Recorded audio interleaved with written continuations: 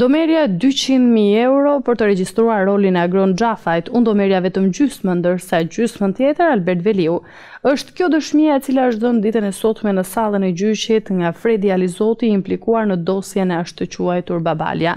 Alizoti u mor sot në pyetje nga avokati Ledio Braho, ai tha se nëse do të kishte marrë paratë e premtuara, nuk do të kishte bërë kallëzim penal.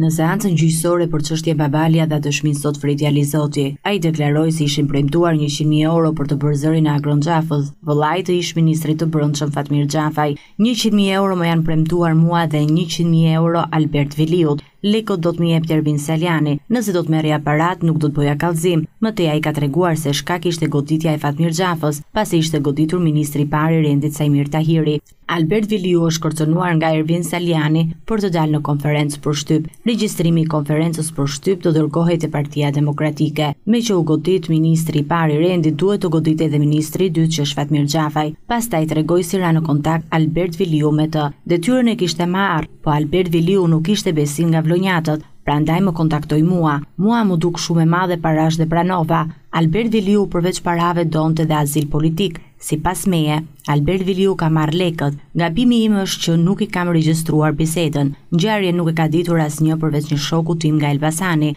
Salianji dhe Gazment Bardhin i kam takuar te Partia Demokratike pas regjistrimit. Nuk kam qenë informator i policisë. Ai dëshmoi se ndihet i kërcënuar nga ish-deputeti demokrat Ervin Salianji. Numrin e Taulant Ballës ia mora një shoku pasi ndihesha i kërcënuar, por nuk më hapi telefonin. Ndihem i rrezikuar nga Ervin Salianji dhe njerëzit e tjerë të Partisë Demokratike, pasi kam parë disa lëvizje. Besim Hajdarmataj e ka takuar tre herë Albert Veliun. Ndërkohë, Gjykata e Tiranës ka rrëzuar kërkesën e avokatëve të Ervin Salianjit që dëshmitarët në çështjen Babalja të thirren edhe Florenc Hoxha e Çelik Biba. Seanca e radhës për Babalen është shtyrë për në datën dy tetor në orën katërmbëdhjetë.